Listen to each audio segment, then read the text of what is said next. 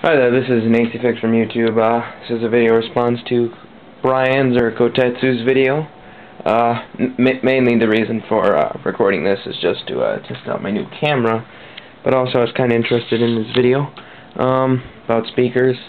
Yeah, those look like pretty nice speakers there. Uh, I I uh, considered myself an audiophile for a while, considering I just loved buying speakers and sound cards and stuff, but uh, don't really have the money for all that. Um, I do have a pretty nice set of just computer speakers, you know, nothing extremely fancy. They did cost more than one would usually, what, bleh, they did cost more than what somebody would usually pay for computer speakers. You know, most people just, you know, shell out $20 or less for computer speakers. These actually cost over a $100, but uh, still, um, have a pretty fancy uh, sound card in. It was meant for um, sound creation and uh, basically music stuff that my brother uh, was getting into years back.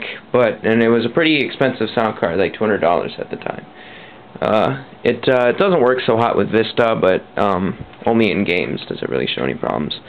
So uh, yeah, it's just a video response. Uh, it's kind of odd to hear your voice for the first time, but whatever. Um, yep. So. Uh, yeah, just testing out my camera and short little video response. Alright, thanks. Bye.